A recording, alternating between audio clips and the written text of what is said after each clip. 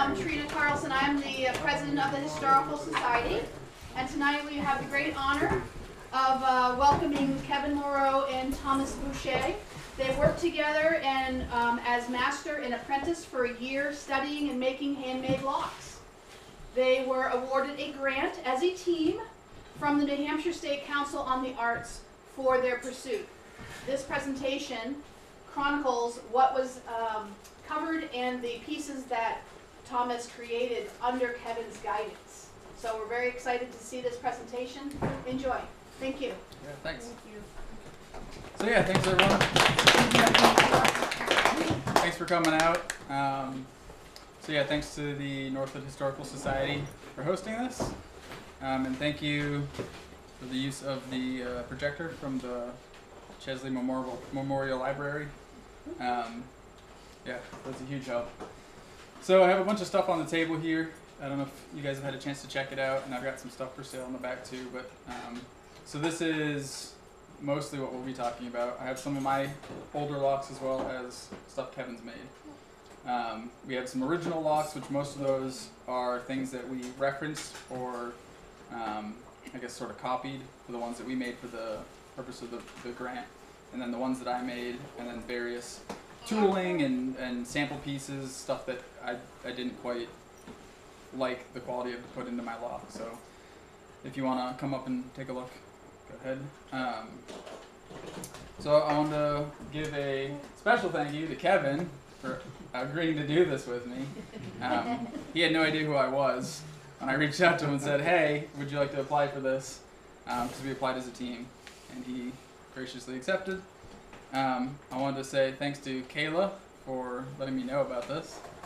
Um, I was demonstrating at Blasty Bough, which is a brewery up the road, and she approached me and said, "Hey, we have this grant opportunity." So I looked into it, and turns out it was a great thing. Um, so as part of my application, I had to have some people write letters of recommendation for me. So um, two of those people aren't here. So Mark Hopper um, was a teacher that I had down in Georgia. Um, Seth Gould was a metal worker um, down in North Carolina, and uh, Lloyd, who drove all the way up from Georgia to be here for this. Thank you. Um, he wrote me one, and then my father wrote me one, and I also have to thank my dad for dealing with all my projects everywhere, all over his shop for a year while I did all this, and helping me out in tons of ways. Um, and thanks for the New Hampshire State Council on the Arts again for allowing me to do this. Um, and then some other people that helped me with giving me something or giving me information, corresponding with me. Um, Russell Pope for giving me that Grimlock. Actually referenced that. It was good. Was good help. Um, Jordan Goodwin, he gave me tons of reference information, photos, measurements, and stuff for the doorknobs for my rim lock because um, I could not find real ones to um, to reference for that. Um, Doug McQueen for sending me a key, which you'll see in my presentation. We looked at some of the wording in it. Um, Peter Ross and Ken Schwartz, both from Williamsburg, um, they gave me some good information on rim locks um, and reference material for that.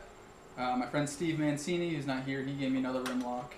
Um, Nick Downing, who couldn't be here, he um, helped me learn how to do brass casting, which I, I did on one of my locks. And then uh, Scott Martin for letting me check out some of the stuff in his house, some of his locks. uh, and of course, I have to thank my wife for going along with me doing all this uh, for a year. She was really supportive, so thank you. Um, so yeah, I'm Thomas Boucher, by the way. Um, so I've been blacksmithing since 2012, um, and actually started on Lloyd and Betty's porch down in Georgia. Um, and I've always been more interested in utilitarian kind of stuff. And locks were interesting to me, but I never really knew anything about them, kind of how to do them. And I slowly found a little information and just started kind of making more of them. And through my various internet searches of trying to find stuff about them, I came across Kevin's work. That's all he does is makes handmade locks.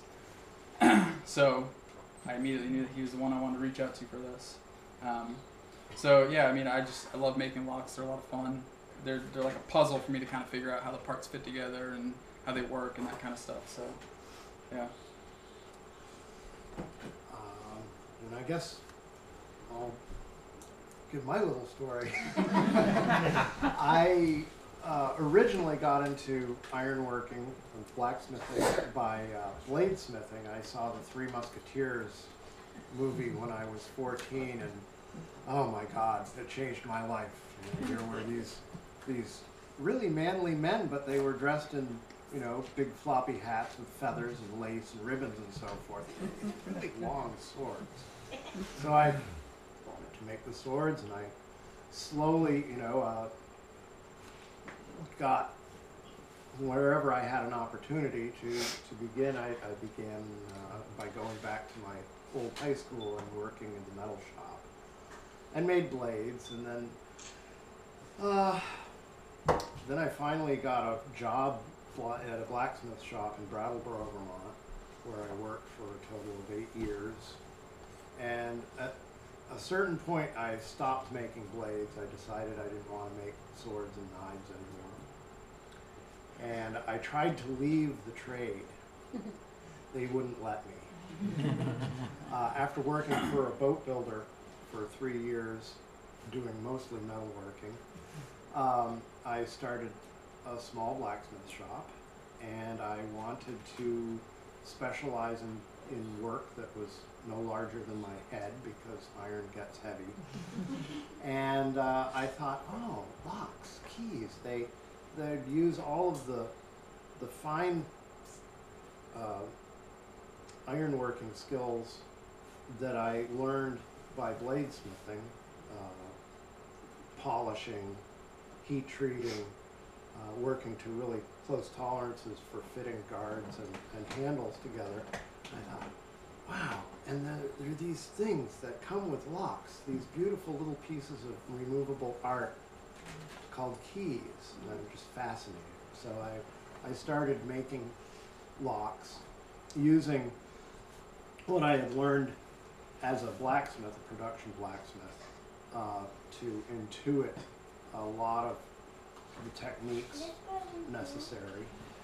And uh, I've been doing it for 20 years. I've mostly been working in a, a continental European style, but some of the first locks I made were English, and that was the um, the focus of this uh, project was English locks from the colonial period and the period of uh, the early republic in New Hampshire, uh, well, not specifically in New Hampshire, but what would have been commonly found or imported to New Hampshire.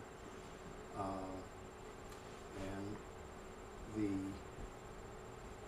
some of the the skills that a general blacksmith might need to work on the locks that were being imported to the colonies and, and, and to the new republic because there was very little actual lockmaking happening in the uh, the very young United States. It, it didn't really get off the ground until the 1820s, mostly in the major cities like Philadelphia and New York.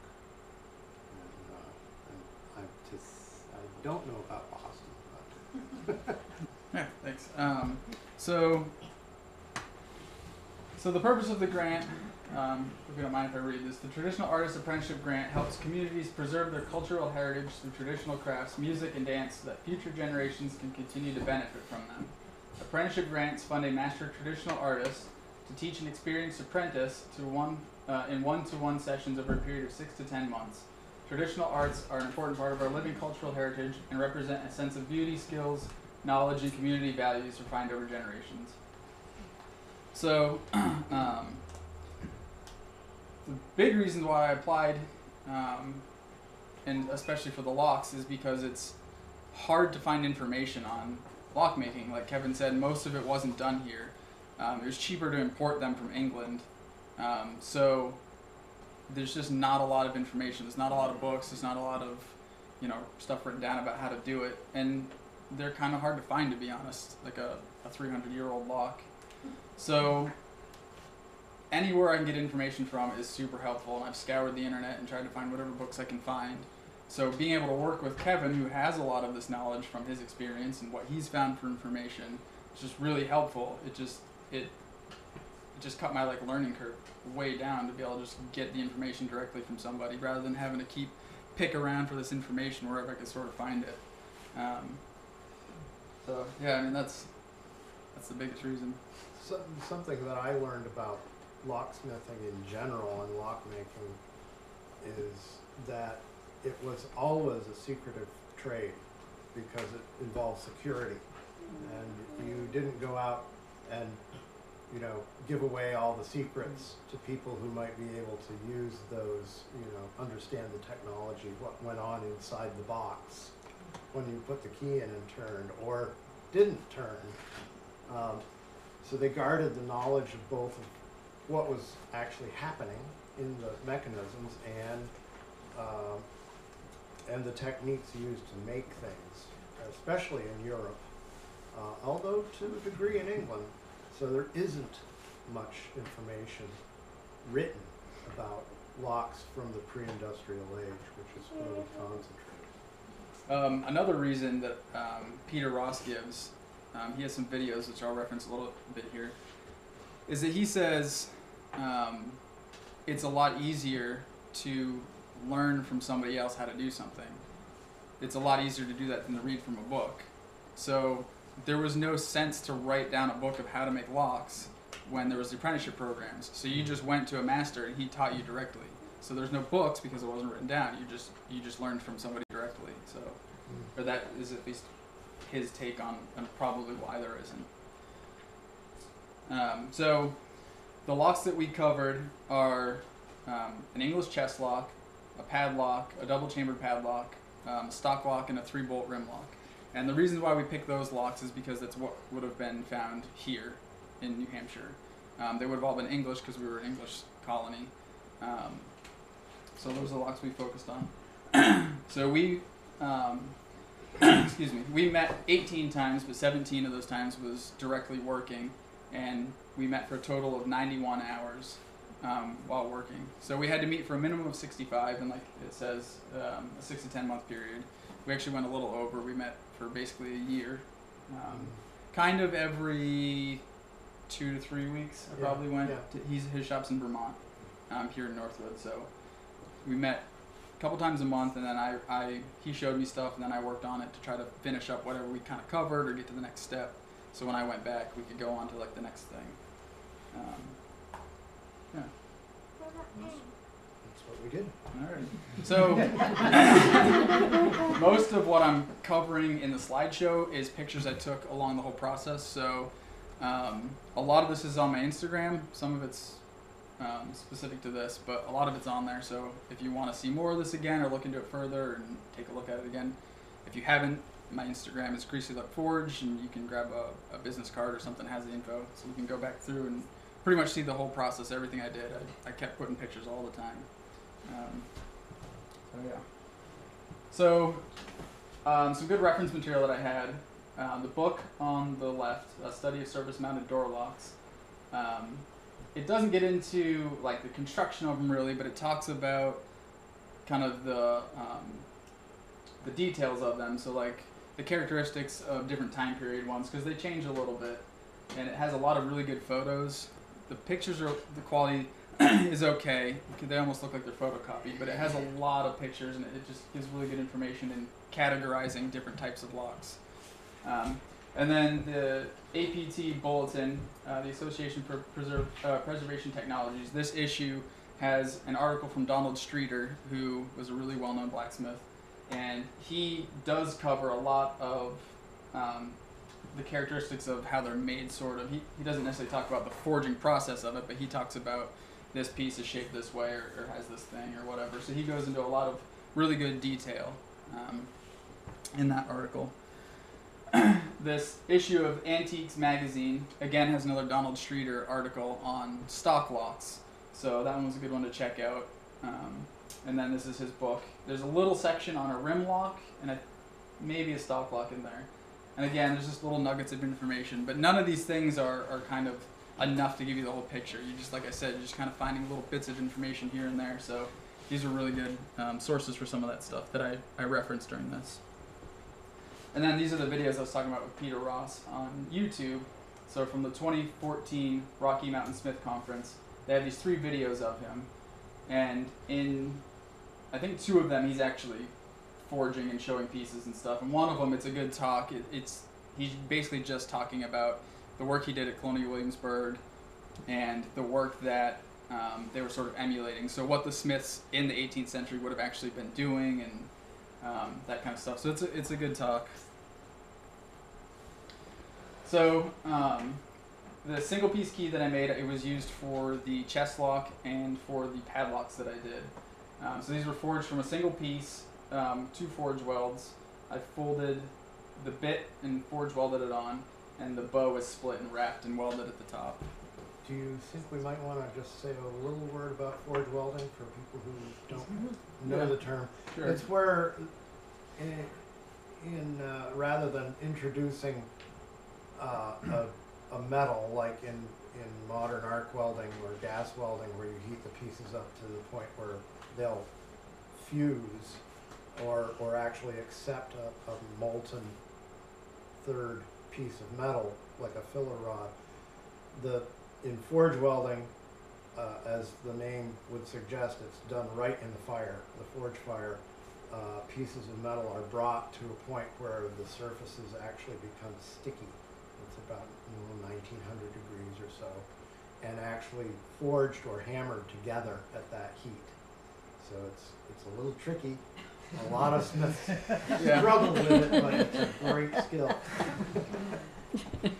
So in the top picture here, this is kind of my rough forging of doing the bit. So they started out as 3 8 square material. So at the top here, I um, just kind of nicked it and folded the material over, and the weld is here.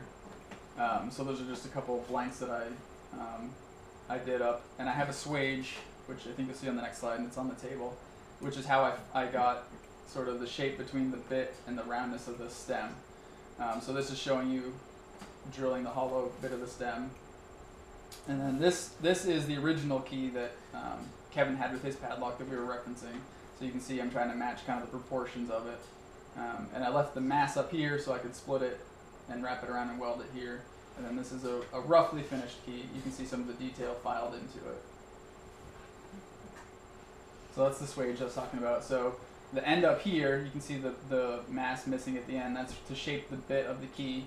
And then there's this round um, section just to work on the rest of the stem to draw it out round. So here's like a close up you can see, like I was talking about. so and this is a video. Hopefully the speakers aren't too loud. I didn't get to test them. This is a video of Kevin um, showing me how to forge what's called a Georgian wire bow. So this this shape of a bow, which is what we have on all the keys that we did.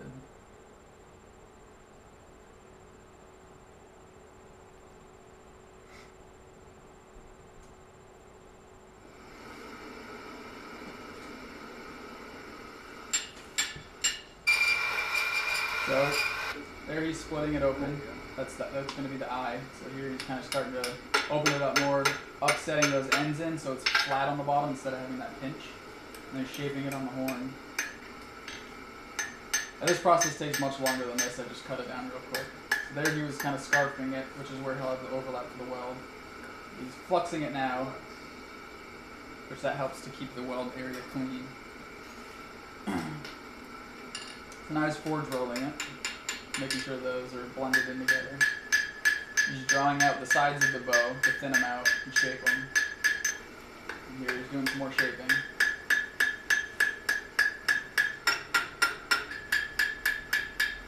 So that's basically a really quick version of kind of how that process goes. Kind of like magic. Oh, yes, all of it's magic. So here you can see um, this is kind of a rough forged key, and then this is a finished up one. So I've got the, the ward cut, and I've got the details all filed out. Everything's all shined up. And then this is just to show you that the ward itself is not just a straight cut; it actually is radius, and that helps it to, to be closer to the, the wards inside the lock. It's a little more secure.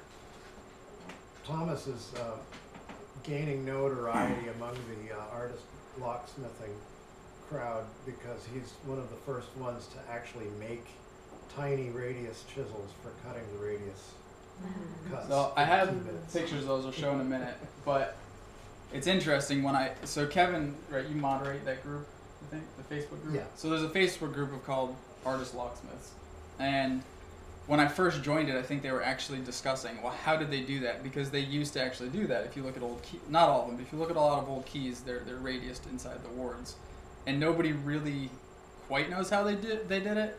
Um, it's just kind of known for some reason that it was cut with chisels, but no one's ever seen. Well, those were locksmith chisels. No one's seen anyone do it.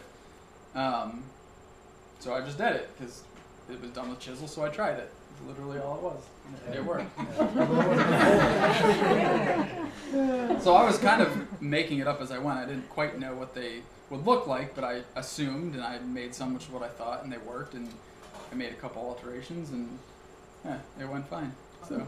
A lot of our techniques, a lot of my techniques, and, and now Thomas's are what I would call forensic um, locksmithing, or and blacksmiths uh, know all about this. We'll look at a piece from two or three or four hundred years ago, or the, even the medieval period, and we'll so we'll go. Well, how did they make that?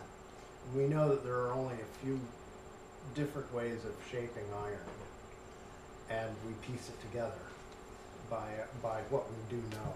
And I do have a slide that I'll get to in a little bit with so the key that I referenced that Doug McQueen sent. excuse me, and it shows the tool marks for cutting the wards, so we can intuit. Well, it had to have been sort of this way. So we'll, I'll show that in a little bit. So the first lock, like I said, the the single piece key that we just talked about was used for this chest lock. So the view of the lock you're seeing here would actually be the lock would be inside the chest. So that would be facing out, but it's inside the chest. So you wouldn't actually see it. You would just see the keyhole and the, the post coming out. So here's my drawing, um, or my plan as to reference for like how the shapes of the parts are and stuff, the sizing of them, and of course once you start actually making stuff, things can change a little bit. Um, but this is a good a good guide. So this is the front view basically we were just looking at, and I, I drew the the bolt in red just so I could pick it out a little easier for myself because you can see the two arcs here, and that lets me know kind of the the travel of the key. So um, it's just easier if I if I drew it out for myself that way. And this is a side view, so I knew the depth of it. And then this piece up here, uh, this piece is the I guess the housing or the Frame. The frame for it. the body. and then this piece is the catch that would be on the lid. So this this piece here comes down into this area of the lock, and that's how it, it locks. So Kevin, are your schematics uh, uh, rough? Are they with the computer assisted drafting? Uh, I when I draw, I draw by hand. so, so, so, okay. Uh, I do them on the computer, but for the purpose of this, like Kevin said, he does it by hand, so that's the way he showed me. So I have my sketchbook on the table as well that has the designs that are on here, as well as um, for the rim lock only, I have multiple pages kind of drawing um, all the most of the parts in like two views. Again, so I can reference them, so I know um, how how deep they need to be and all that kind of stuff. But I I do my own stuff on the computer just because that's what's uh, comfortable to me. So here's a look um, of it with the the cover plate off, so you can sort of see. It's a pretty simple lock. I mean, it's just got the post of the hollow stem key pivots on that, and the bolt. So the key comes up into the bolt here and throws it. So here's the the catch that would be on the lid. So that's it in the lock position, and that's just got a simple spring. It's a pretty pretty simple lock. The uh, the way it remains locked or unlocked is the spring pushes down um, and keeps the, the This is like a lump. a lump on the tail of the bolt uh, keeps it in either position uh, against the, the opening of the frame. It's a very simple lock. It's called a, I guess called a back sprung deadbolt. So here's um, a picture of the finished lock and the finished key. so then the next lock we did, the double chamber padlock, and it's called that because it has two chambers. So the key goes in, throws the first bolt, and then there's a certain position where it can go in further, and then it opens the second bolt. Um, and he had so for the the chest lock, we didn't have an original per se. We had one that Kevin made uh, a number of years ago that we referenced, but it's um, just as good as an original one would be. And then so for this we had an antique lock, which you say is early 1800s. Yeah, I, uh, about eighteen twenty. Uh, it's it's uh, of a style that seems to have been uh, made in England, starting in the seventeen hundreds, probably early seventeen hundreds. Um, and it's of a type that was uh, probably continued until the 1840s. Um, and a couple examples have been found uh, in a shipwreck in the Delaware River dating from around 1780, and they're they're they, the shape of the lock body changes slightly over time. The earlier ones are rather bag shaped, and later ones are more heart shaped. And the one that we copied, uh, well, the one the original that we have uh, is more the heart shaped, the later type. And the, the original one's on the table. I brought all the locks that we were we were referencing from. So this is the the original one. So you can see, like he's saying, this is a little more heart shaped, rather than some of them are really rounded. Um, so then we took it apart to kind of look at some of the internals. Once we know kind of how they're working, and then to get an idea of how they made them. So for instance, one of the things, this piece here that the two bolts are going through is called a standard. And we were able to tell what order they put them into the lock because you can see on this one that's on the nose end of the bolt um, down here there were marks from the vise biting into it. And you can't do that if there's there's bolts in it. So we know that that one went in first.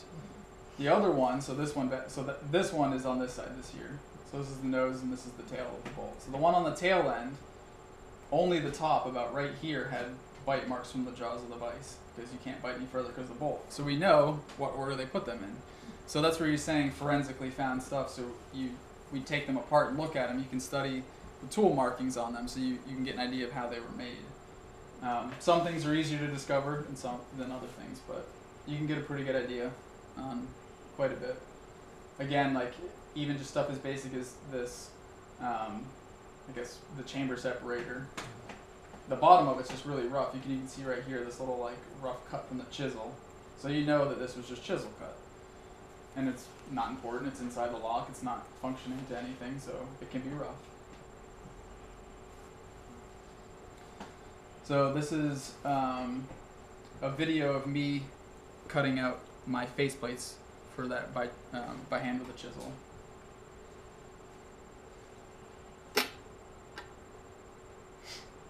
So you just kind of mark. You don't cut all the way through. You, you go most of the way, probably two thirds or so the way through. And then here I'm just cutting reliefs, so that way I can snap off the excess, and it'll just it'll have a place to break off. So you just put it in a vise and just kind of wriggle it back and forth. And if you cut far enough through, then it, it just work hardens and snaps off eventually. so here I'm just cutting it off so I can access that other side easier. And I don't think I cut through all the way. They just snap off. And it's a much quicker way to do it than if you were to try to like cut this out with a hacksaw or something. So this is some tooling that I made specifically for working on that lock. Um, so these two tools here have two different sizes, a 3 16ths and a quarter. And these are uh, these are a tool you developed, I guess, basically, right? This this shape of it. So this is what's called a double butcher. And so a butcher, it's angled on one side and flat on the other side, and that allows you to neck in a piece of material real precisely to one side, um, rather than if you just use a regular hot cut, is what it's called for just cutting a piece of hot metal off. They're usually tapered on both sides, so then you, you would have, I guess, that taper on your piece. So we wanted to have a nice hard 90 degree shoulder. So on two sides, so this allowed allowed you to have the two hard shoulders. So this is used for making um, what Kevin. There is one on the table. What's called um, a T rivet. So it puts that little lump at the bottom there, and that is what um, allows you. So the lump in the middle, it, it um, gets riveted to the frame, so the side of the lock, and then the two ends get riveted to the face plates. So that's how you kind of construct the body of the lock. and these tools were also used for my rim lock. I made what's called a rim rivet. The only difference being is that it gets riveted through one side or one end and the stub in the middle. So that one has three rivet uh, ends, and the rim rivet has two. So these two tools in the middle, these are just bending forks that I can put in my um, vise, and those allow me to bend the shape of the frame. Um, so I, I made a tighter one. I made a tighter one just because sometimes you bend it with the T rivets attached. So getting up close to this sometimes is hard with this wider one. So I made a tighter one. And then this is a die that I made um, for the keyhole cover on one of the locks. So I made I made a keyhole cover. Or I made two padlocks. One has a keyhole cover that closely matches the original example that Kevin has, and then this one is on the other one. And the pattern for it I actually got from a picture of an 18th century lock. So it's not something I just made up, but we didn't have an actual physical reference for it, but I referenced it from a, a picture. So this is a video of me demonstrating how the rim rivet or the T rivet tool works.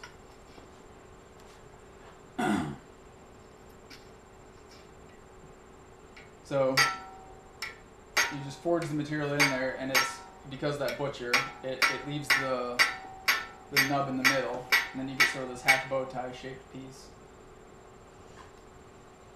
And then those two sides get drawn out. So I'm just flattening it out here. And then I'm using the anvil block so I can get close up. It's got a hard edge. There I'm cutting it off.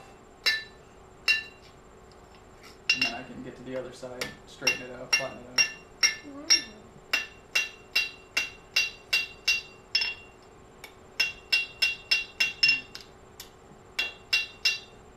That's a, a T rivet forging. And then the, the ends get filed up to be round or some of them are square. so then here you can see um, this is the, the frame for the padlock and then you can see the four T rivets and the ends of them have been filed to round tenons. And the edge ones I left square. So there you can see it bent up and fit to the plate. Um, so basically, you start with this one, drill the hole for it or punch the hole, bend this with my forks until you get the placement of this one, mark it, put that hole in there, and you keep going until you've got them all fit in there. And then you can transfer the holes from the one plate to the other plate, and they should be pretty close, but you can you can move them around a little bit with a punch. You can move a little mass and file out what you need to. On, uh, on originals that I've taken apart often, that you can see where they adjusted the, the alignment by bending the rivet to, so it'll fit. Yeah, so it's not per- perfectly uh, perpendicular. So this is the original um, shackle in the lock that we were referencing. And so you can get an indication of some of the, the way it's made. So there's this line here, which is from a forge weld. Something that we're unsure of, it's hard to tell. Kevin thinks that maybe the piece was just folded over and welded. I kind of think that it might be a second piece welded on, like this might be a seam here. It's really hard to tell on this one, so. And then you can see this little pinch right here, that's a, a weld seam as well. so this is a video of Kevin forging one. There's the, the workshop. Yeah, Kevin's shop. So right now he's doing a set down to make that eye. Just flattening out the material, squaring it up, folding it over. So this will be that hinge, the pivot part for the shackle. So he's putting a drift in there to shape it too. Putting some flux on it again to keep his um, weld clean. Forge welding it. Now he's doing the set down for the other end that the bolts pass through. It's basically the same forging until before bending it or whatever you do the other side. There's a little bending jig to shape it.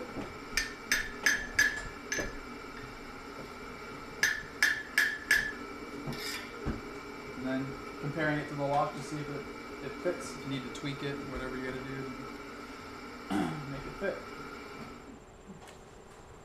What is the flux?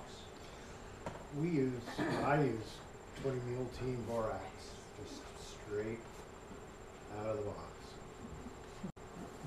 I guess um, they used to use sand sometimes traditionally. Or, yeah, sand is a really good flux for wrought iron, which is what they were using. We're using Steel. modern yeah. low carbon or hot rolled steel, so it's about point two five percent carbon, whereas the wrought iron is just this beautiful skein of of iron grains in an iron silicate slag, and iron silicate is basically its own flux. So that's why clean sand works perfectly. It just it forms a perfect it's great, it just draws all the impurities out as you pound it together and it's one piece of iron after that. There, there were some um, commercially available fluxes as well. I don't know what they were necessarily made of, but some of them had iron filings and stuff in them too. Um, but yeah, we just use borax now.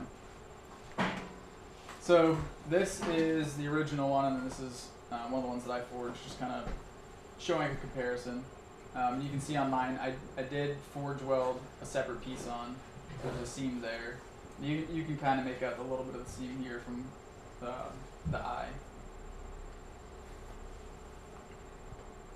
So there's um, the first one that I made. So once you've got the frame and you've got the shackle, then you can start sort of fitting um, where the bolts are going to go and locating the standards and putting them in there.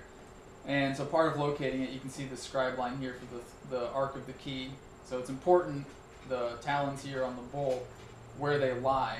So when the key's coming this way, this the the talon needs to be outside of the arc of the key, so that the key can go in here, pick up this talon, and throw the bolt over.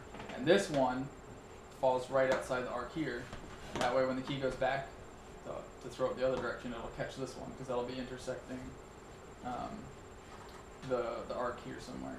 So once you have some of these parts, you start figuring out where the other parts go to them. So it's not as easy as just having like a template. This is where the holes go. You kind of make the parts to fit this particular lock, and that would be the case with all of them. So it's it's pretty common um, if you have an old lock to find inside where they might have numbered parts because the bolt for lock number two might not fit lock number three. So you, you mark them. Often they had hash marks, uh, or, or punch marks, just the number. Sometimes you can see that they used a, a Roman numeral numbering system for the parts as well. So this was just taking a look again at the bolts and the standard.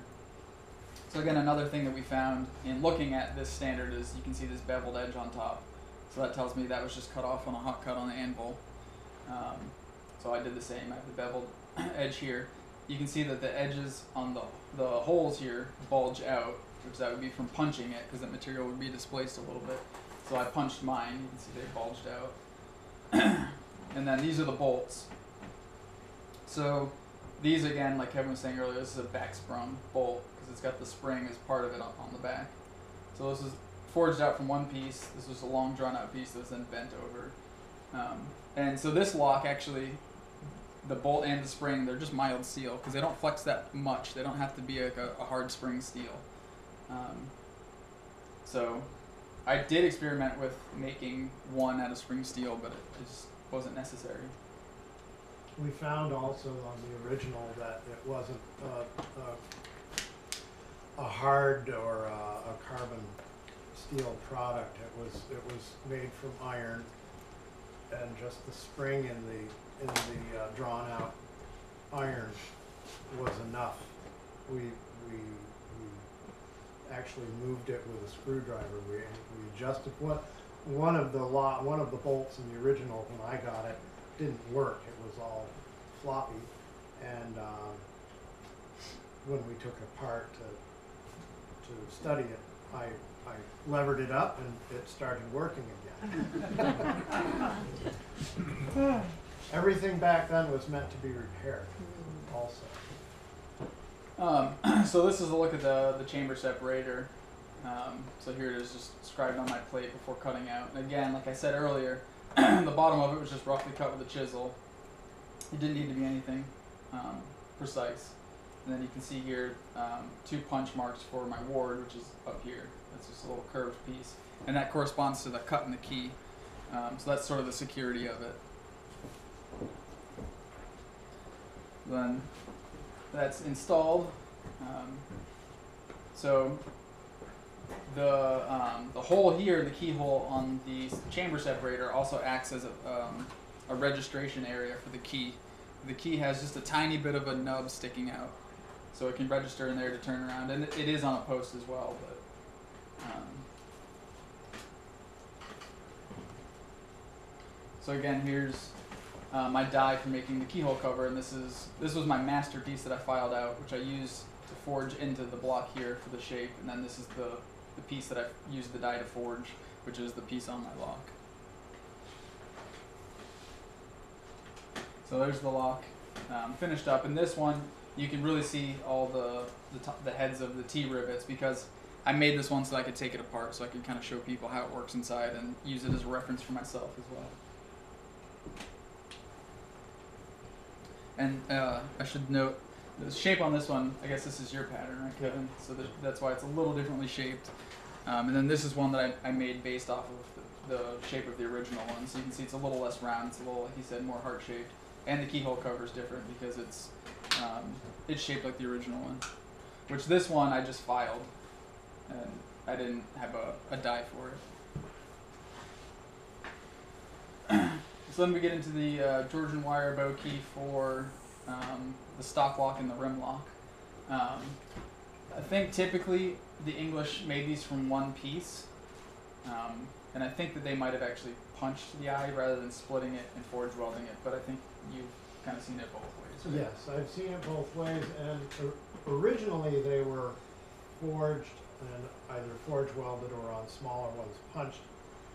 But during the, say eighteen, or uh, seventeen fifty to seventeen ninety, uh, period, they started using, uh, fly presses, which are huge presses with a very, uh, fast threaded screw and you just turn this thing and there's a big weight on a wheel and it just goes boom. And they started actually making dies for keys. So they'd put in a piece of wrought iron the right size and go boom and the key would be formed on the end. And then they'd, they'd trim up the flash, turn it on a lathe and, uh, and finish it and it would be ready for cutting. But So- that was, that was later, uh, sort of a, an industrial, uh, or early industrial age method that, that overtook the hand forging. So some of the characteristics of these keys, I mean, they have just kind of this general overall look, and this was a an original key that I bought for reference. Um, so some things about it is they have this little swell at the bottom of the, the top of the bow. Um, in through this section of the bow, they do kind of become round like a wire, and then down here they kind of flatten out and swell again. Um, and then they have sort of this decoration here, and then this swell right here, and then this plate right here is a bearing surface, so that's how this key registers itself. So the key goes into the lock only that far, and that's how all the wards are able to line up. Um, one of the things that Kevin taught me, I think even before we started this, the trip I went out there, he was just sort of showing me that. So like with a French key, they don't have this bearing surface; their stems are just straight. But um, this should say symmetrical. But with these keys, if you look at the end of the bit, it's like a teardrop shape. Um, so really, it can go in the lock either way, and the keyhole is cut that way, and there's, so there's nothing to stop it. That's what the bearing surface is for. But with a French key, the bits are asymmetrical, so the keyhole doesn't pass all the way through like these do. So that's what um, registers the key. So it can only go so far because that bit hits the backside of the lock and it can't go through. So that's one of the differences between some of the, the regional keys. So here's just sort of some of the process of my keys. So this is a rough forging. You can see I'm setting up like um, for the next processes. So here I've got the bottom of the bow, and this will be split out to be forge welded on top. I've got my mass down here for the swell, the decoration, and then this is my bearing surface, and then this part of the material is drawn down to be the bottom of the stem where the bit will be attached. and then so this is with the um, the bow split and then welded and, and roughly shaped by forging, and then here's all cleaned up, turned, the decorations and, and filed, ready to have the the bit um, brazed on. So, like I said, originally I think a lot of theirs were single piece. Although, have you? Did you say you've seen some brazed on? I can't I, remember. I believe I have.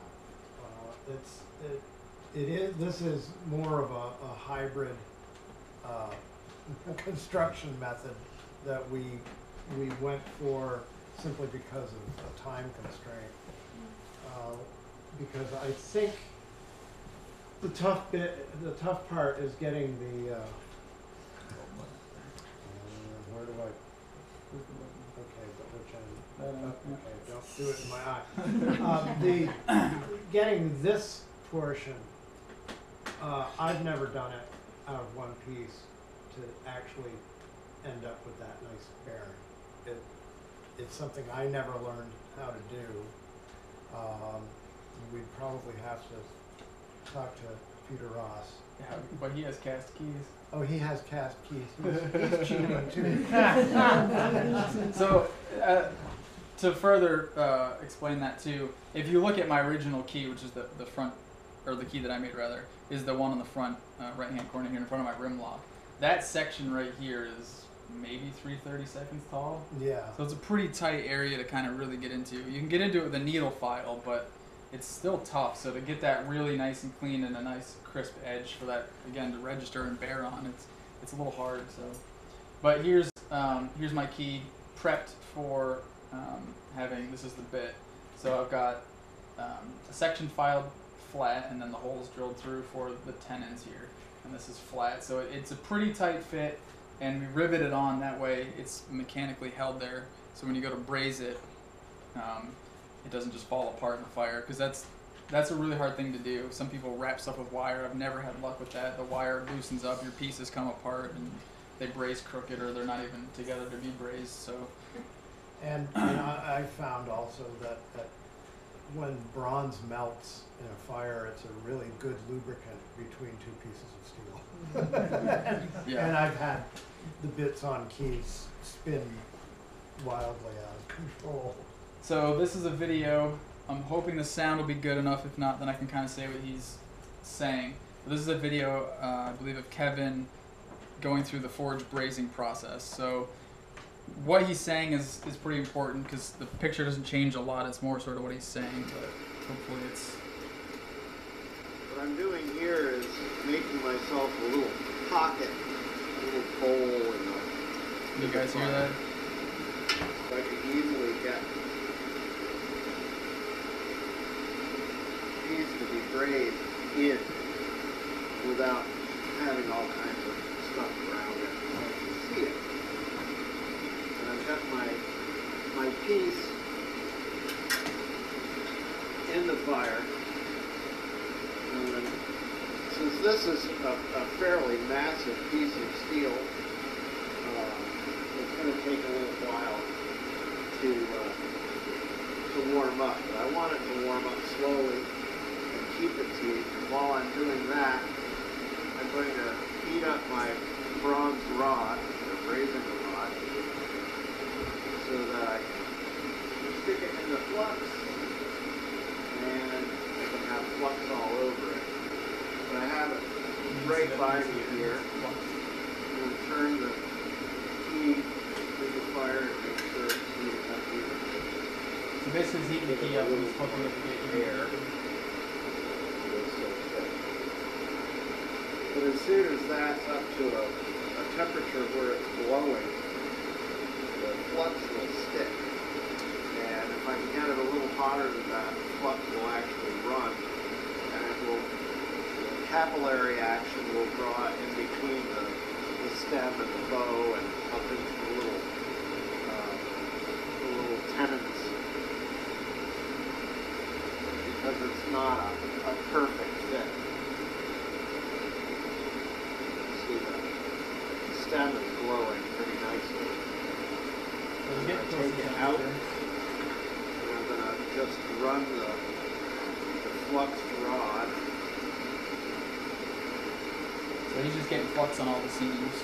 along that joint and this joint here. Be careful not to burn myself on the fire. Then I'm gonna do it on the back, right where the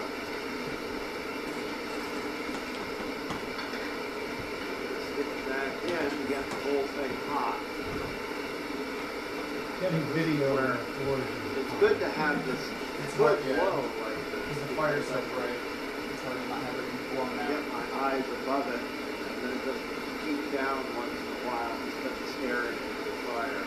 Because unlike a welding fire where you have everything covered with coke, this is nice and open so you can see and get the bronze rod in. And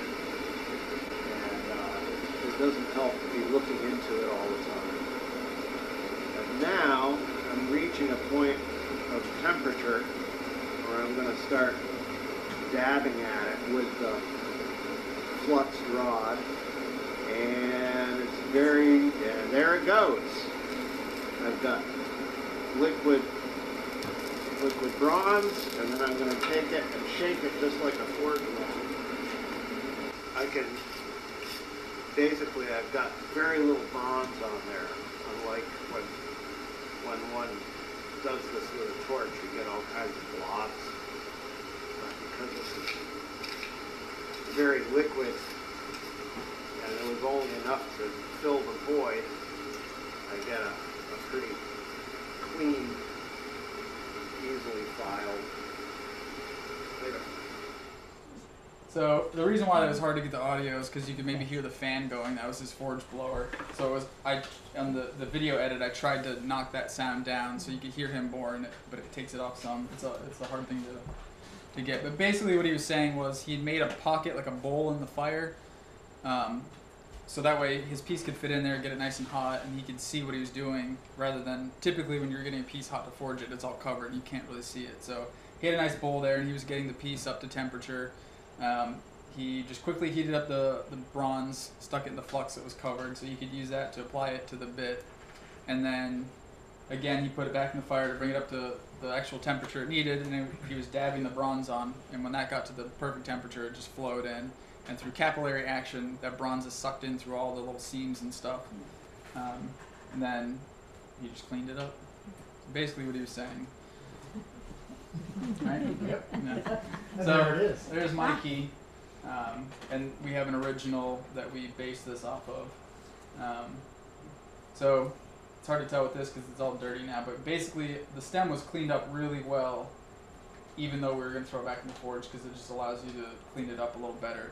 And one thing he said at the end of the video is this process it leaves just kind of a thin cover of the bronze rather than if you try to do a lot of times people use torches to braze with and it leaves big chunks a lot of times whereas this is almost more like a plating. So there's a lot less to clean off it's a lot easier and that makes it a lot easier when you get into this area we were talking about before that's that's really tight. To if you don't have a lot there to clean off it, it can be a lot easier. So these are some um, drawings I was doing to kind of figure out how I wanted the the wards to be. Um, and I think mine differ from the original key, but they're similar to the wards in the lock we referenced. Um, and I ended up going with this one, except for I didn't have these cuts in the top and bottom. so this is the key that I was talking about that Doug had sent me. So on that Facebook group, um, I had posted pictures of the keys that I did, and I showed that I used my chisels and cut them radius. And he said, "Well, I have this key that I bought, and I've cut the bit off. There's a cut right right here." He said, "I cut the end of the bit off so I could kind of look in there and sort of see and try to figure out how they did this." He said, "Can I send it to you and you give me your opinion of it?" So he mailed it to me, which was good because it allowed me to kind of take a look. So um, again, we can kind of look at this forensically and sort of figure out, well, how did they do it? Um, so again, there's the cut right here. So we're looking at this inside surface on the key bit and then this surface on the whole piece that was cut off. So I believe this is looking at the end of the, the part still on the key. So this top section is the top part here. So you can see there's striation going this direction, um, which would be on this surface here, going perpendicular to the bit. So that tells me they were probably using a saw because that would be going perpendicular to the bit, cutting down. So they're using a saw to cut down this way. But then if you look at this piece, which is the inside uh, surface of the bit that's cut off, they're going parallel to the bit, which means it had to have gone that direction. And if you're using a saw, it's going to go perpendicular. So you can't. That's not cut with a saw. That has to be cut in from this direction. So then you can see these little striations. That tells us they were using a chisel from the end, kind of cut in. Again, like in Donald Streeter's book, a lot of times he would cut those radiuses with a hole saw. Well, if you're using a saw, they'd be going this way. So we know they're not cut with a hole saw.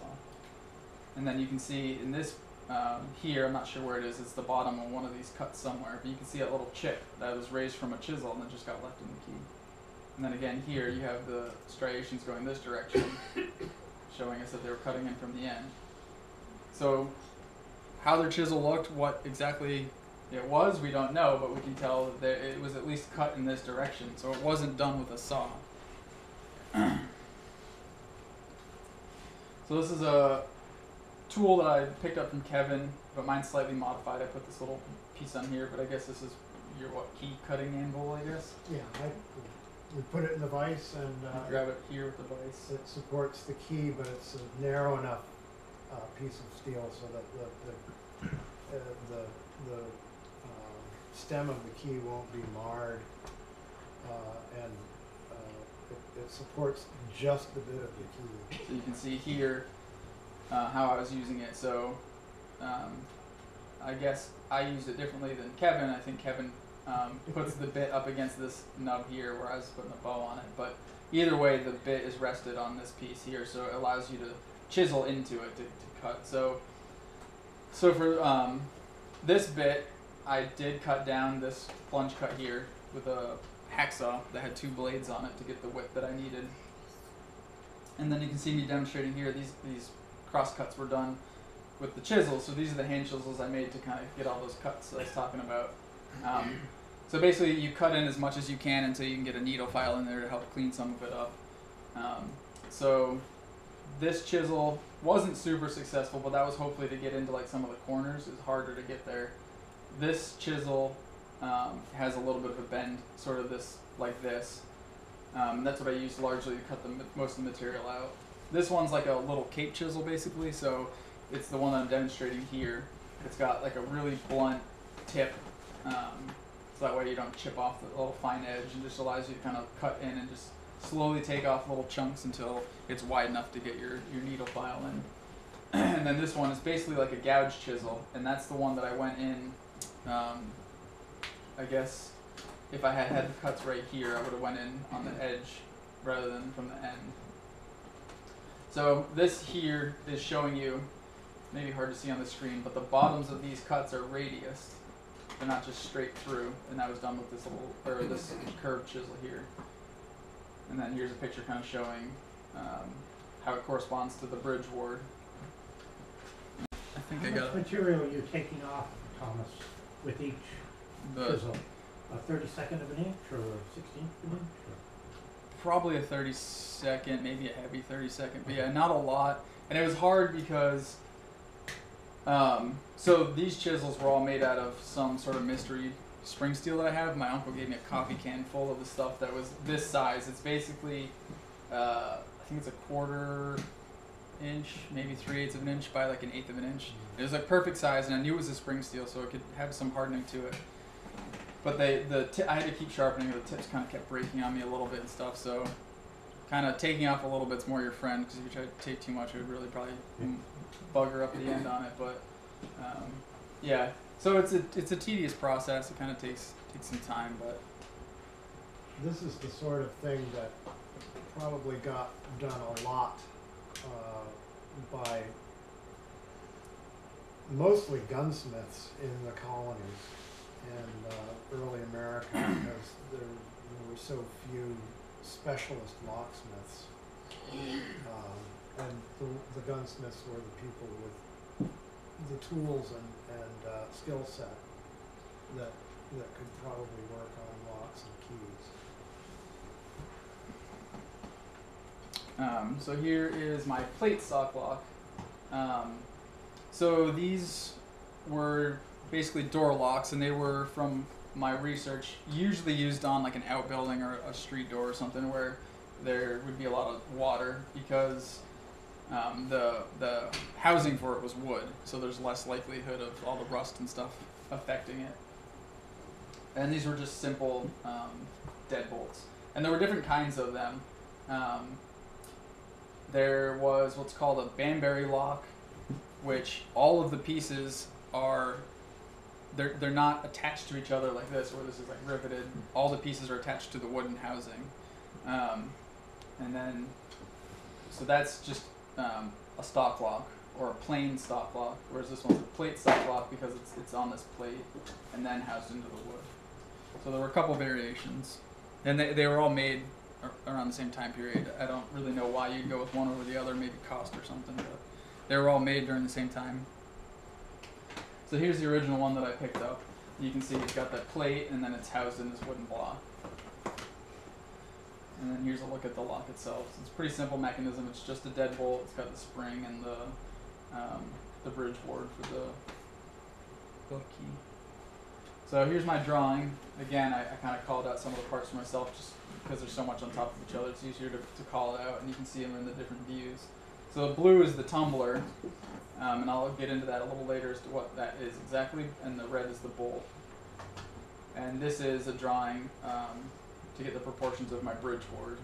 So that's um, again, those, those are the, the little security features that correspond with the cuts in the key bit, and then the, the end of um, over here, this end. So this is where the bolt's coming through. So here's my plate. Um, I punched all the holes first on this one, um, whereas with the some of the other locks we kind of did some of them as we went. This one, because it's a little more basic, I was able to do that. So got that all cut out, shaped, punched, decorated. This is the inside.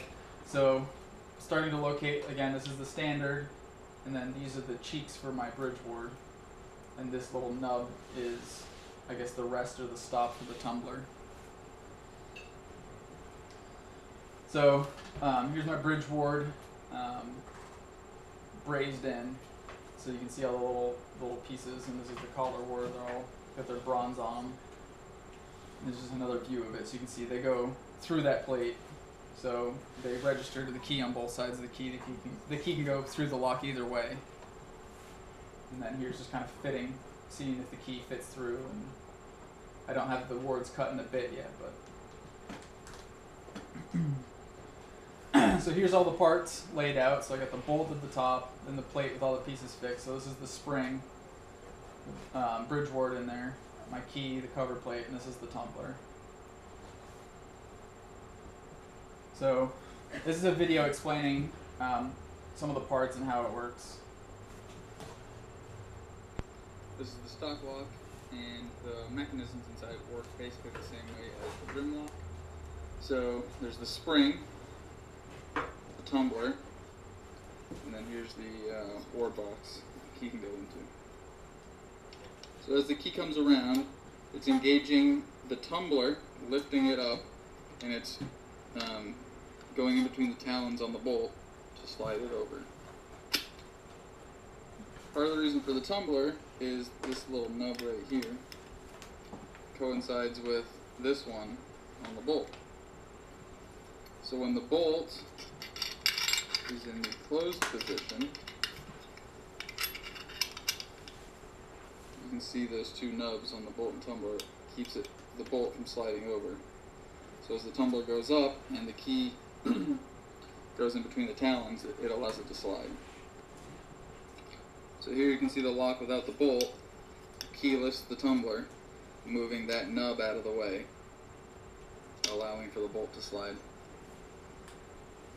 So, with the lock assembled, this is how it would function.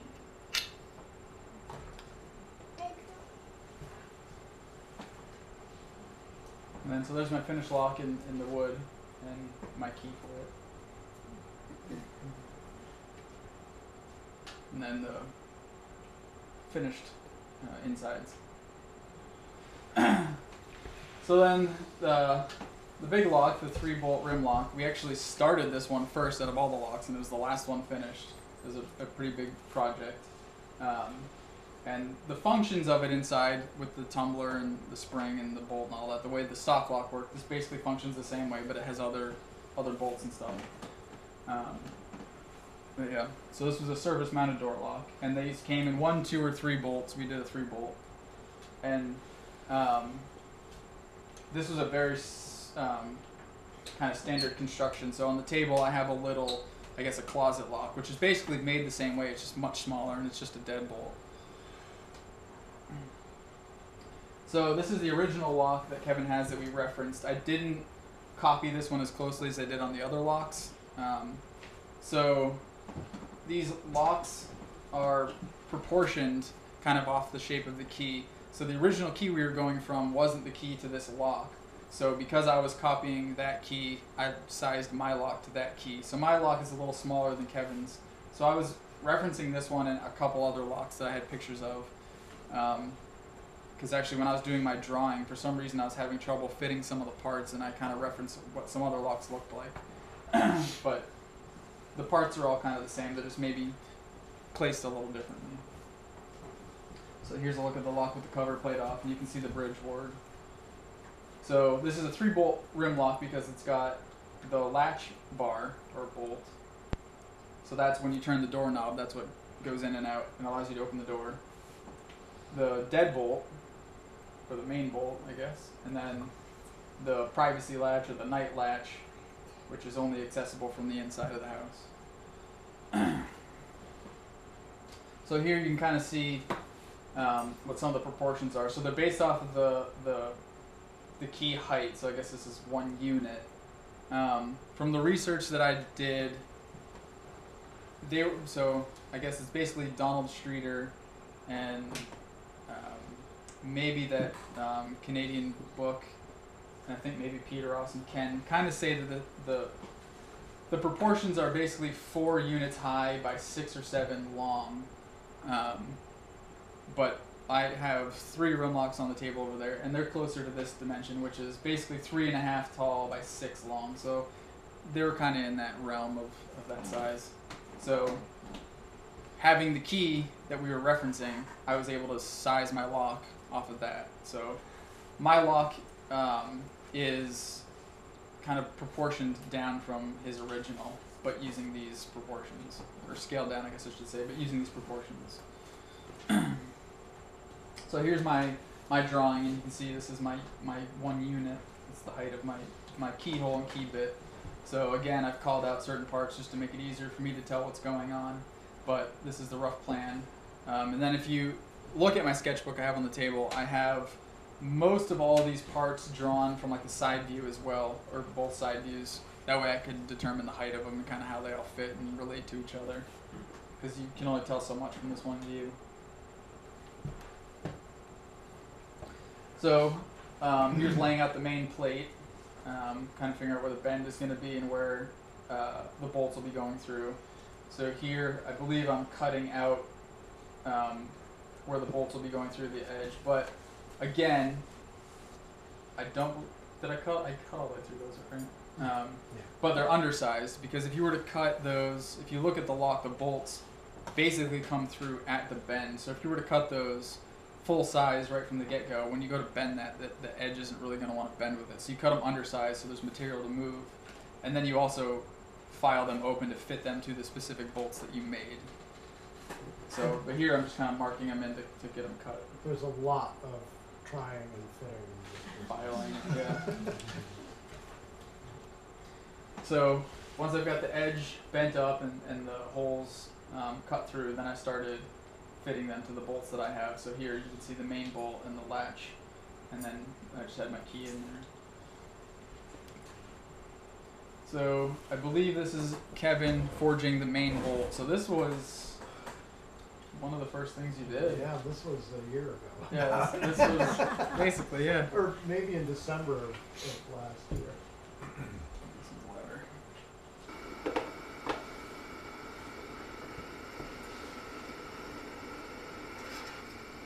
So he's marking out kind of where he wants to bend the material on the end. So you're starting with real thin material and you just keep bending it over until you build up the nose of that bolt to the height. So, the, so mostly that bolt is just a long thin piece except for the end. So he just keeps folding it, folding it.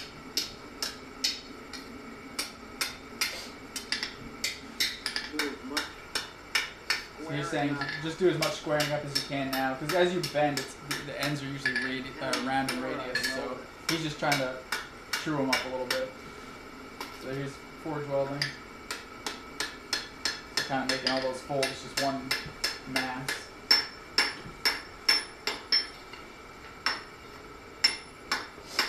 And then defining the shape of them.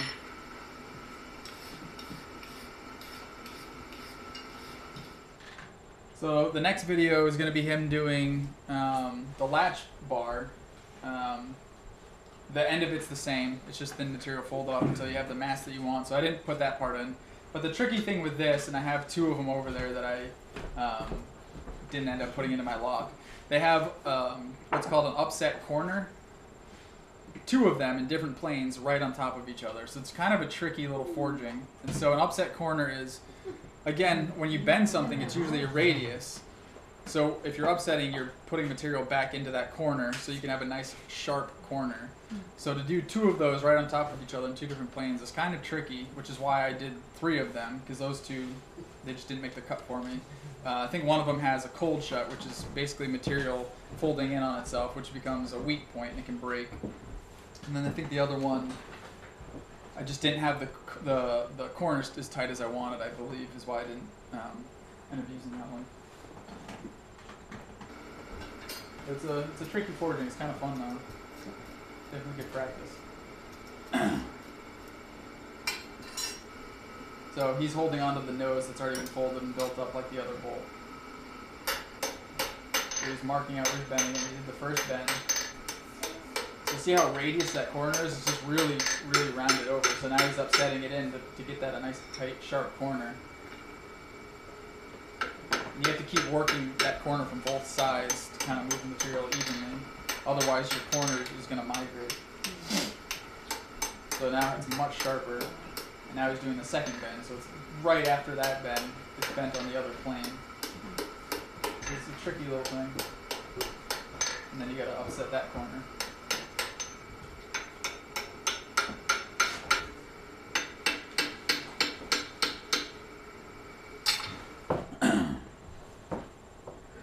So there's the, I believe these are the two that I didn't put, and this might be a picture starting to clean up the one that I did use. But you can see here it's got the bend this way and then a bend that way. So they're they're they're pretty tricky. So again, I have the second end bent up, and then I've got my latch, the main bolt, and then this is the the privacy bolt. You can see I've got my keyhole marked for where it'll go. So here I've got the staples that they secure the bolts in, um, and then I've got the sides of my bridge ward. And so this is um, taking a look at the bridge ward and how I kind of made this complex ward here. It's the C shape sort of. So I have a flat piece of material here, and you can see these um, marks scratched in. That was where I was going to bend it. So I kind of used this little mandrel to bend it around, and then I used a hand bender to give it this radius bend. So even though they're really short, they actually have a slight bit of a radius to them, and that again corresponds to the the key and the arc cut in the bit of my key. And these ones are made the same way. They're just straight, so they just have a little bit of a radius to them. And then here's a video which kind of illustrating how the key sweeps through them, kind of interacts with them.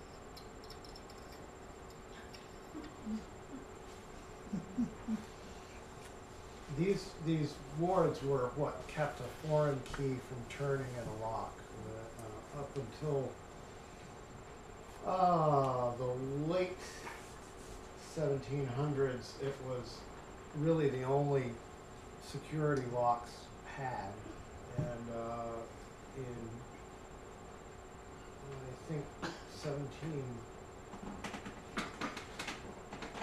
seventies or eighties, a fellow by the name of Barron in England came up with another, uh, uh, came up with a different type of tumbler, which had to be raised to a specific height so that the bolt would move.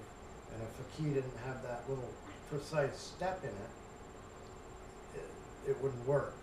And uh, that was the beginning of the abandonment of warded locks and, uh, and, and the move towards higher security. Basically, they use the multi multi tumbler locks still today for the keys that unlock uh, combination lock spindles on on uh, safes and vaults.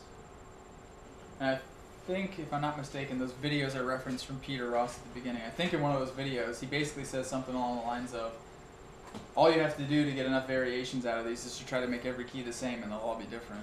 Because it's all animated. so, yeah.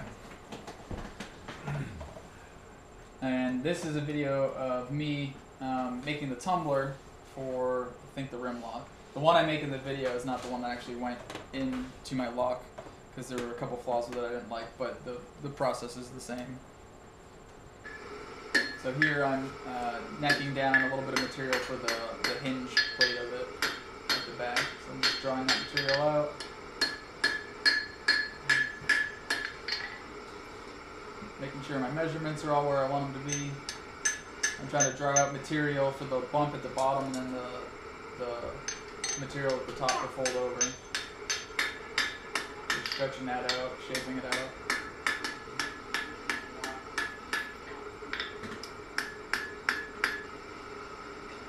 And I'm drawing down the back side of it, which um, is where it would rest on the stop. And you can see one here that I'm referencing for shape. Punching out the, the eye. Again, measuring. That's for where I want the, the part to be folded over. And that's that stub that interacts with the this here, interacts with the bowl. So that one picture at the end is not the one I forged, but it is the one that went into my lock. Or I forged it, just not in that video. so here you can see again, it's really similar to the stock lock. It's got the Scotch spring on top, and then it's got um, the tumbler here, and then the the bridge ward. And, and we haven't yet found out why it's called a Scotch spring. Have you? No, that's so that again that that red covered Canadian book has a, a glossary in there. That's a term I picked up out of that book. Uh, the terminology with some of the stuff, it's I, even I guess on that group we had, it's kind of been a, a debated topic. It's hard because different countries had different terms for things, and because a lot of us are relearning some of this information, we don't necessarily know what people of the time period would have called things in all cases. So sometimes people are giving it their own name. Sometimes they're using the name from one country. Sometimes they might have the right. It's just it's people call stuff whatever. So there's a glossary in that book, and kind of he makes a point there to say that it's it's kind of important for all of us to sort of get on the same page for what they're called, so that way everyone knows what everyone's talking about. But it's not necessarily that case. So Thomas, was it colloquial in the colonies?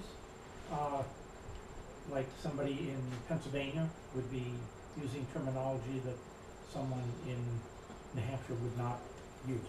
Maybe um, because the locks in Pennsylvania were Germanic and not English, so they could have been using a different term. Yeah, they probably had a completely different set of terms. And even now, uh, the old English terminology in England differs from American lock And that terminology. too, yeah. We call it a post, where the, that the key goes onto and turns. In England, they call it a drill pin. But it's the same thing. So it's it's kind of hard to get everyone on the same page because So we call potato chips potato chips. they And call they're them crisps, they're right? crisps. It's that sort of thing, basically. And we call them french fries and they call them chips. We had a, a debate recently, even on the cuts in the key bit, of what those are called, keyways, wards. Yeah, on that that group. Yes. It can get, it can get heated.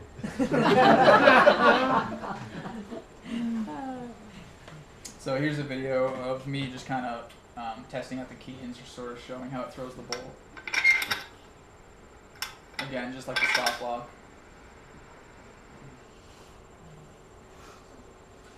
So um, this is my rough forging of the cam, and the cam is what the um, the spindle for the the doorknobs goes through. So as you turn the doorknob, the cam here is what acts on the bottom leg of the latch. So you can turn it either way. You can see it, it goes either direction. So whichever way you turn it, the latch is gonna retract. Um, so this is just a picture of the outside of the case. Um, and you just kind of rivet it over and it's sort of domed in there. It's an interesting fitting. So you can see the material here is raised up slightly. So there's a hole in the case of the lock that that goes through, which the hole in the lock is slightly chamfered on the outside. And you just sort of chase the material lightly so that it's enough for it to grab on so it can't pull through, but it can still freely turn. It's tricky. That's a really tricky part of making one of these latches. Not over tightening or Not over tightening, although you can always get a little it. oil Yeah. in there and work at it, but you'd rather not. Oh, Oh, no. I just hit the button. We have to Yeah, I gotta turn it back on. Reset. So this will be a slide of the side rails on my rim lock. Um, they're tapered. They're little wedges. They're not just flat pieces. Um, and they're attached really similarly to how the the frame is attached on the padlock with the the T rivets, but in this case the rim rivets, and they're only attached on two the two places, so one end and the side. Um, this will warm up in a second, but so this is showing a cross section, so you can see that it's a tapered wedge, and then it's it's just the back side. There we go. And at the top here, once it warms up, is my spring. So there you go. You can see this is the spring on top, my rough forging of my, my Scotch spring, and then these are the two um, side rails of the lock, and then these are the rim rivets. So they're cut flush on top because they don't attach to anything, because that's the edge that'll be against the door. and then the post on the bottom here, I just haven't trimmed and, and filed to be a um, tenon to go through the lock, and then here you can see that it's a, it's a slight taper. It's not greatly, but it's it's a little bit. It's about half the thickness here as it is here, and I believe they were an inch and a quarter tall, so it's not a huge change, but they are slightly tapered. I don't know why they did that. I think in the video that I had, Peter speculated that it might be just to give it a, a stronger appearance or something. I don't know. It, it was, I think it was mostly cosmetic, and uh, later on you see them uh, without that taper, uh, without a like a, a angled box. Uh, and even later on the so-called carpenter locks, they were often made like a channel, like a, it looked like a, a piece of channel iron in miniature. I think you can still get the stuff too. And some of the later ones, the the box itself was just completely cast, but the pieces were still forged the same way. And the cast ones, I've seen them with like profile shapes and stuff. They're not necessarily like this. Some of them were, and some some weren't. And some, some of these rim locks were uh, made on a, a, just a, a plate, and then they were screwed into cast brass bodies, so that they had a nice brass box on the door. So this is just a look at the the spring here. That's the spring for the latch. Um, so this is the this V spring is the earlier style, and then later on they switched to this lever mechanism. So this back one is the spring, and then this is just a little lever. Um, so as it the the latch retracts, it just kind of pushes on the spring there rather than the whole thing being a spring. I don't I don't think we know why they changed it. They just did for some reason. I, I think that the, the spring and lever and the V-spring actually coexisted. It was, um, because I've seen some fairly early locks with the spring and lever. I think they did that because it was a little smoother. There wasn't as much, uh, yeah, there wasn't as much, um, winding or, or, uh, gaining resistance as you turned the knob. It was a smooth, Because it's hard harder to turn it one way. yeah. And uh, I think that the spring and lever was a way of evening out that force. And uh, this is the one that you had, Russell. So thanks. so here's mine. Um, we did the the V spring. That was what was in the original that we were referencing. So I went with that. So then this is an inside look at the keeper. So this is what would be attached to the door frame. So that's what the bolt throws into to, to lock it. Um, so these were made in three different ways, and they um, varied in price. So the cheapest way was basically the whole thing was one piece of sheet metal. So the ends were folded, and the the backside here were just all folded out of one piece of flat sheet metal. then the middle one would be um, basically that, and then the edge would be rolled up. So there you can't see it here, but there's a on mine I have a brass, or I guess it would be this edge here actually would just be rolled up from that sheet. And then the most expensive one was the way I did it, where the this back rail is attached with these rim rivets, just like on the housing of the lock. And then there's a brass rub rail on the side, which you'll be able to see. I think in a different picture, but so um, all the brass pieces I cast myself for the lock. So this is my wooden pattern for my mold, and then here's the brass rub rail. So it's got these three tenons that tenon through the case. So there you can see the, the rub rail riveted on. And here you can see the, the, the angle on the latch bar going up against that radius edge of the rub rail is kind of, it, it helps it to retract. So it's, it's, not, it's there for, I guess, decoration. It looks nice and stuff, but it's also there um, to help push the, the latch in and protect the edge of the box and whatnot. It does strengthen it too Yeah. against the being Right. people trying to break the door down. Yeah, trying to slam it shut with the bolt out or something. Yeah. So then here's just sort of a layout of all the pieces, mostly in my lock. Um, so like I said, we basically started this lock on day one with the plate, and that was the last thing that I finished up. we, I mean, we worked on all these just kind of parts here and there and this and that, and skipped around through them. But this one had the most parts and most work to it, so we got started on it early, and then worked our way through them all. So then there's basically my lock finished up.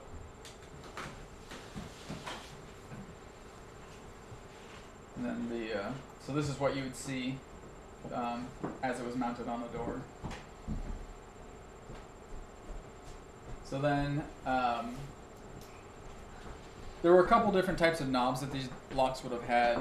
I wanted these um, oval or kind of football shaped. Sometimes they're called like egg knobs. Um, I could not, for the life of me, find them anywhere. I couldn't find decent reproductions. I couldn't find exorbitantly priced original. Like I couldn't find nothing. Luckily, um, like I said, um, Jordan had a lock that he found in the house he purchased. It was up in his attic with the original knobs. So he gave me tons of photos and measurements and references. Uh, super helpful. So these originally were three-piece construction. So the two halves, the two hemispheres of the the knob were hollow actually, and then the spindle was a third piece. And they were all cast out of brass, and they were all brazed together or silver soldered or, or whatever. Um, so I went up to um, actually Bob Menard's shop in Portland because that's where my friend Nick works out of, Nick Downing, and he let me use his casting frames and his sand, and he, he showed me how to do it. Um, so this is a video of of me um, casting the parts for the lock.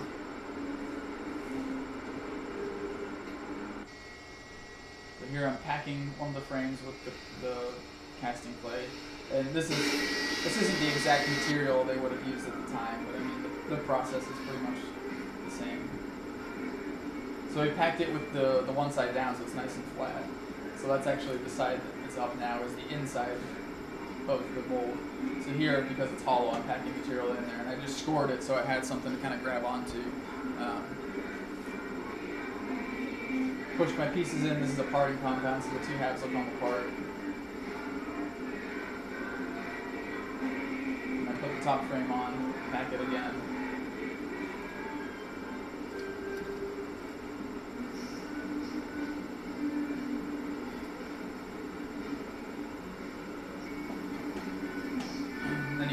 And you take the patterns out, which is sort of lightly tapping on them so they'll loosen up. Because if you wiggle them too much, then you change the shape of the mold.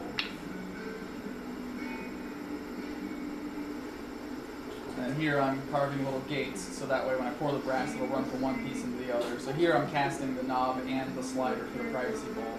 Right now I'm carving out the the cone at the top, the, the sprue.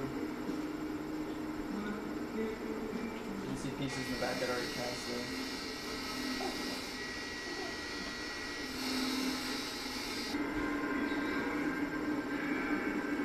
And Here I am bringing it over to the forge. We were using a gas forge to heat up the crucible to melt all the, the brass.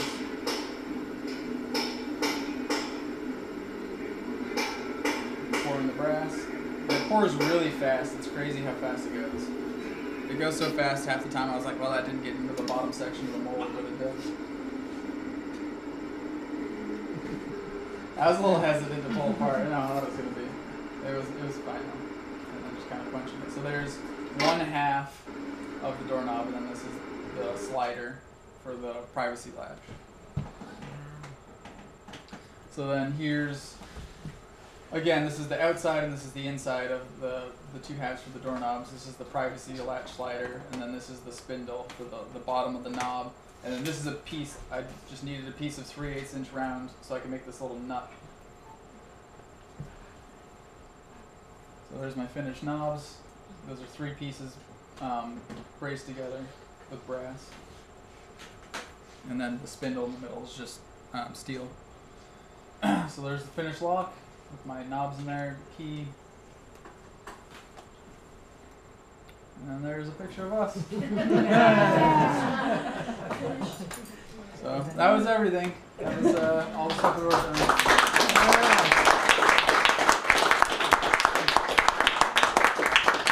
So, does anybody have questions on anything, or How much time do you have in each one of those blocks, you think? so? Um, I didn't actually really track my time on any of this stuff, just because it's the first ones I've ever made. I was more focused on getting them done, so I don't actually know how much time was in each individual lock. I do know that on the second padlock, so the one that's based off the original pattern, not Kevin's pattern, it took me about 20 hours, I think, on that one.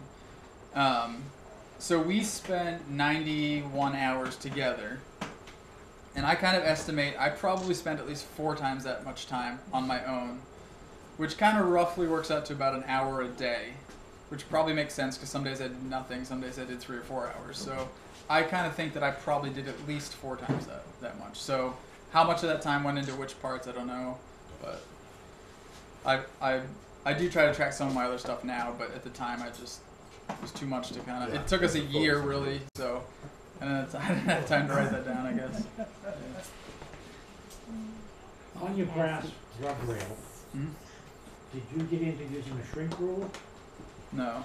So you're simply casting the piece and then matching the piece to the lock? Yeah, I mean, I, I guess you're because you're talking about how there's a little bit of shrinkage to it and that kind of Yes, stuff. yeah, in I- metals it is. a yeah. different. I I had looked up how much the shrinkage rate would be. I don't remember what it was, but it was so minuscule on brass that I just didn't really worry about it. Um, I on my knobs itself, like it, it didn't really It didn't matter. it didn't seem to be too much. The rub rail, because it had to match the length, um, I think I could tell that it was just a hair smaller than I kind of wanted it to be, but it was so close. I yeah, I don't remember what the number was, but it was. It was like let's say over. I don't know if it was over an inch or over a foot or something. It, it was like, maybe over a foot. It was like a sixteenth of an inch or something like that. I don't remember, but it was it was small. Yeah, I think cast is an eighth to the foot. Okay, I don't remember, but it it wasn't much. Yeah. Yeah, but so I did. I made. I had to make my pattern, and because it was hollow, I thought it would be easier to do it with metal, just because I I think it was like an eighth of an inch thick, and I'm not a woodworker, and I thought like it wouldn't w- go well for me to do it out of wood. So I, I made a swage and I swaged a piece for my pattern. Um, so with that part, even though it maybe shrank a little bit, I actually then put it in the swage and I hammered it a little bit more to shape. So probably stretched it out to the final length, anyways. At least on the the football shape part. So,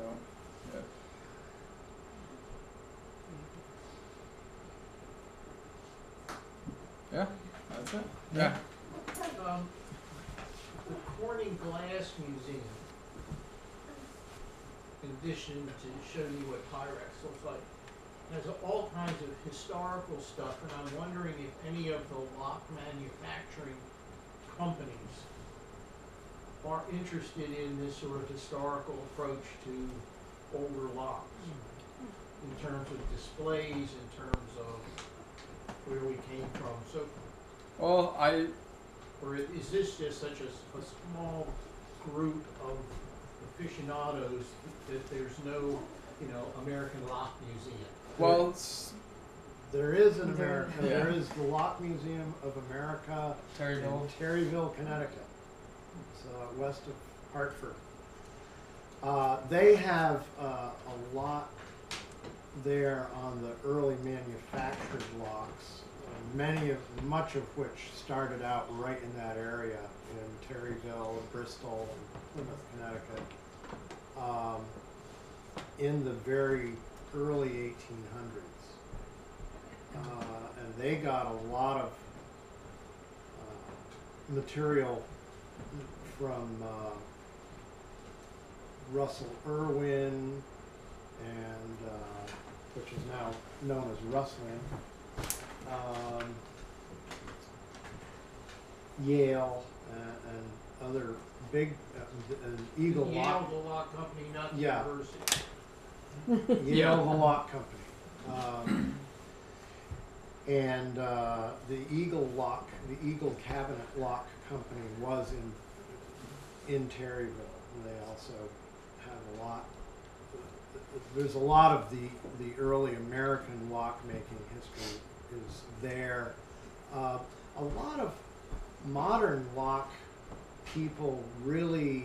Uh, the industry, I think, sort of poo-poos the older locks because they're selling security. Uh, and all, of course, the old-fashioned locks, the pre-industrial locks were, you know, they, they just sort of downplay them. Of course, now, if you have a lock like that on your door, nobody's gonna pick it with, uh, pin tumbler picks.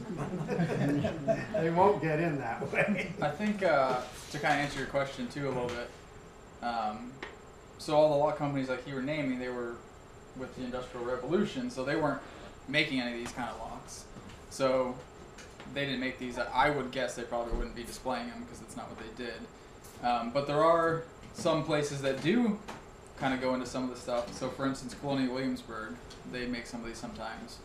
Um, Peter Ross, one of the names I said, he was the master of the shop there. Now it's Ken Schwarz, who was another guy I talked to. They have an apprenticeship program there, and I think as part of, part of their like final test to pass whether or not they become a journeyman is they have to make a rim lock. So they're doing some of that work there. I know there's an old historic shop. I believe it's in D.C. or it's close by. I think it's called G. Krug and Son, and it's been around for a while. And I they used to do some lock work, and someone else that I um, have been in contact with on Instagram lives close by, I think, and he's visited, and they do have some old, kind of incomplete locks in that shop. I don't know if they were made there or not. I would assume they were, but so. Yeah, I mean, most of these were imported from England. They weren't made here per se, so I don't know that. Yeah, Interestingly, they continued to be made largely by hand and largely in the, uh, what we know now as the medieval craft method, where Joe was really good at making those rim rivets and he did it all day and and Pete was a great key cutter and you know they, they divided the labor and would, would produce things well into what we think of as the industrial age in the 1840s, 50s, and 60s. yeah. So I, I guess that's something we didn't really touch on. Is whereas we made every part for like I made every piece of that lock. That's not how it really was done. They were There were people that did each part, and the the key and the bridge ward would have come from another shop. Yes. They fit into the locks that they made. In a lot of cases, the, the stock lock makers would have sent the boy down for some more keys and, and bridge wards from the key stamper and ward box maker down the street, who also made the good beer, so they could probably come back with a growler as well. Uh, you know, and, and there, there was a town in England, or is a town in England, Willenhall was the center of lockmaking. And it got to the point where so many people were engaged in lockmaking, so many were trained in lockmaking, that no one could just do things, you know, they couldn't make a living just making locks or lock parts. So you had in the census uh, uh, and of trades, you had a lock, stock lock maker and and uh, publican or greengrocer and bolt maker and uh, key stamper and registrar of births. so they they kind of cobbled together livings in a community by just doing everything. Are there any of the books that you could recommend based, uh, besides the one you mentioned in the beginning? Good for you, I guess it depends what you're looking for. Um, in terms of like the locks that we made, no, that's the most information I've been able to find. There are a lot of, um, well, there aren't a lot of books that talk about the construction of locks. There are a lot of books on locks in Europe, but the problem for us is they're in German or they're in French or Italian. or Italian. Yeah, so they have really good reference pictures of like this view of a lock, but you can't see the other views, and you don't necessarily see all the inner workings, and they don't tell you how they were made. It's just a good picture of a nice Yeah. log. But so there's lots of those, but most of them are in Europe, and they're expensive to get over here. And if and if you can read French, there are books. Uh, they're uh, in the what 1760s. Diderot That's true, wrote yeah. wrote encyclopedias of crafts and trades, and there's a lot about lockmaking in his. And there's another uh, I can't remember the name. Duhamel de Yeah. Monceau wrote a rather had a rather exhaustive book of lockmaking. I think he published that in seventeen Something. so- late seventeen hundreds. But it's French lockmaking. Little Yeah. different. and it's in French, archaic French too, if I'm correct. So it's it's hard to find info on the, the construction of them. Sort of have to start whacking steel and filing. The easiest thing is if you can get your hands on an original and just look at it, which is what we did.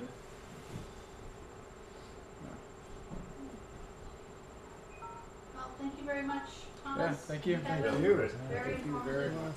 Thanks for joining us tonight. Yeah, and having us. like I said, I've got stuff if you want to look at.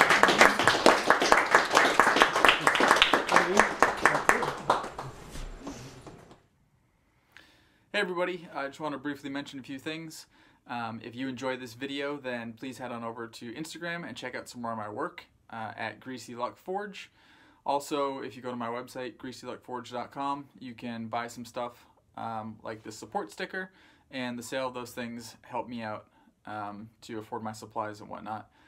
Also, eventually, I'd like to start doing more videos. I'm not sure when that's going to happen, but uh, if you want to stay up to date with that and um, see when those pop up, then please hit the subscribe button. And um, yeah, thanks for following along.